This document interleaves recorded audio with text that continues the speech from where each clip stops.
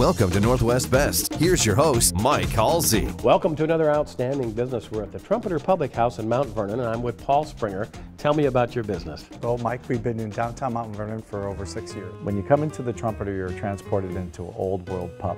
Our menu items are locally sourced, made from scratch, and absolutely delicious. We have a large selection of rare whiskeys, 18 beers on tap, and fantastic selection of wine. Bring your friends to the Trumpeter Public House and enjoy our casual elegance.